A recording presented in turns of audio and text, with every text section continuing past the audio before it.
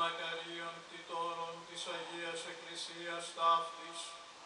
και πασών των Αγίων του Θεού Εκκλησιών και Ιερών Μονών, των υπέρ της πίστεως και της πατρίδος, αγωνισαμένων και πεσόντων, εν της ιερής του έθνους ημών αγώσει,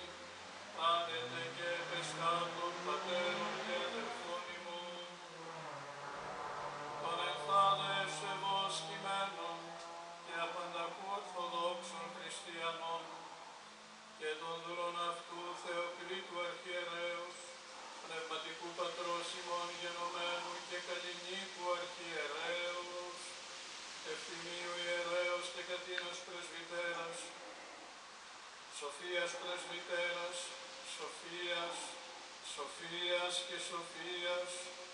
Σοφιανού Γαριφαλιάς και Γεωργίου, Αναστασίας και Ιωάννους Στυλιανού Ευαγγελίας και Σταυρούλας, νησί Κύριος ο Θεός, εν τη βασιλεία αυτού πάντοτε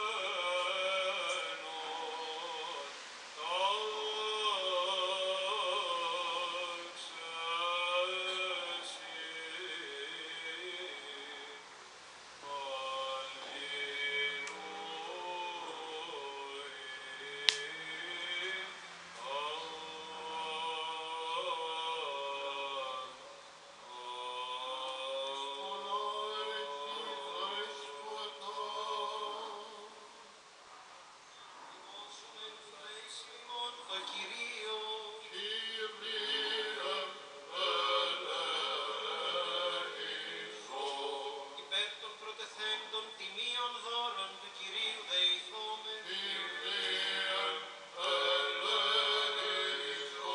Υπέρ του Αγίου οίκου τούτου και των μεταπίστεως ευλαβίας και φόβου Θεού ισιόντων εν αυτόν